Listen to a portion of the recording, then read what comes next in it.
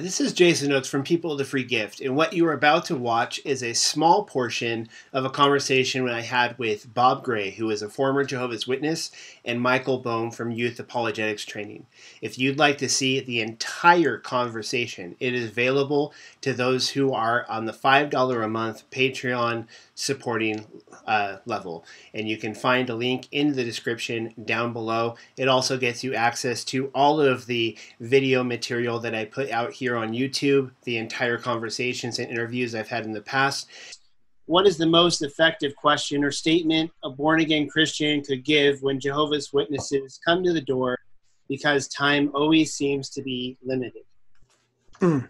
You know, as, as soon as you asked that, it came to me. The most effective question that you can ask at that point is, can you come back? Yes, I agree. Because, you know, first of all, they've caught you flat footed. Mm. You know, you didn't expect them. Um, you know, who, who, who knows what's on their mind at that point?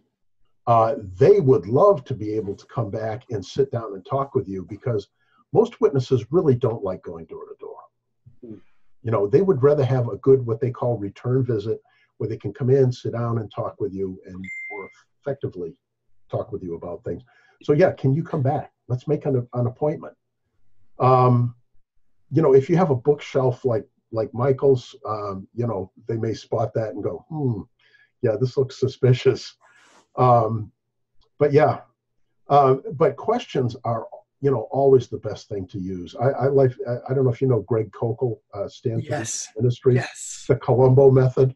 Yes. That you, you just, you know, you just act dumb. It's like, you know, maybe you can help me out with this. I don't quite understand. Um, but the other question that I love that he has, and I use it a lot online, when they come up with a particular teaching, you ask them, don't ask them to defend it. You ask them, how did you personally come to that conclusion? Amen. Amen. And I think that is such a great question because for most witnesses, for most of the teachings, if they really think about it, they're going to say, well, the governing body told me that. Hmm. Including the fact that the governing body is the fulfillment of the faithful and discreet slave parable, not a prophecy. But yeah. Yeah. yeah can, can, you come back? Um, I think anything if you go too far beyond that, um, again, most of them are not prepared for any sort of deep theological discussion at that point. Uh, both of you are in a rush. Most likely, they are in a car group with two other people. So they don't want to spend a whole lot of time at your door, that type of thing. So, yeah, make an appointment, have them come back.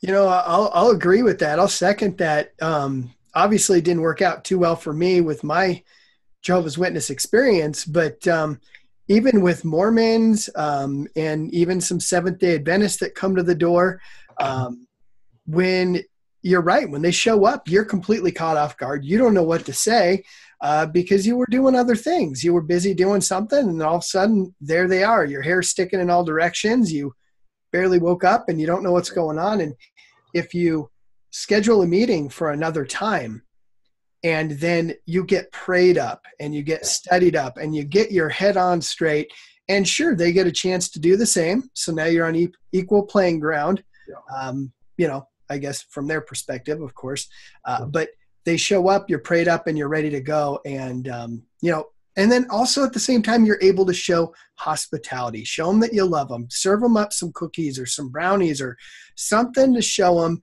I really do actually care for you guys. I'm not here to persecute you. Yes, we're going to talk about some hard things, yeah.